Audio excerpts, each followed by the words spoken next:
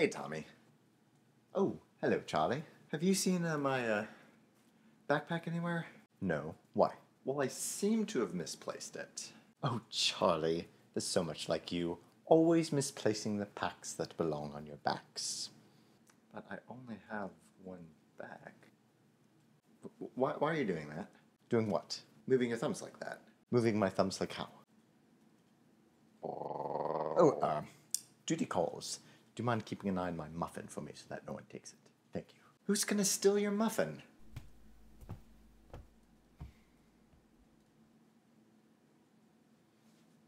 Come on now. You know you want it. You know you want the muffin. No, don't give in, Charlie. Don't let the wicked tempt you. Why would you listen to Mr. Goody Two Shoes over there? He doesn't know what a muffin tastes like.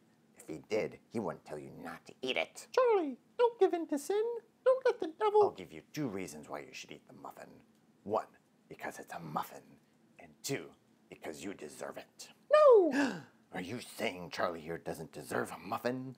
Are you saying Charlie isn't worthy? if he takes the muffin, he won't be.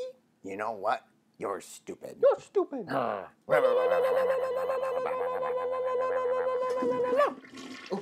Good. I'm glad to see that my muffin is still here. Yeah, I was worried it wasn't gonna be here by the time you got back. Why's that? Eh, no reason. In fact, I'm so thrilled it's still here. I think that you deserve it. Take the muffin, Charlie. Take it. Take it. Uh, you know what? I'm, I'm good, but thank you, though. Oh, all right then. In fact, you should probably give those thumbs of yours a healthy dose of muffin, just in case there are like any demons in them, you know? Yes, I bet to do that just in case. Yes, you better. Anyway, enjoy.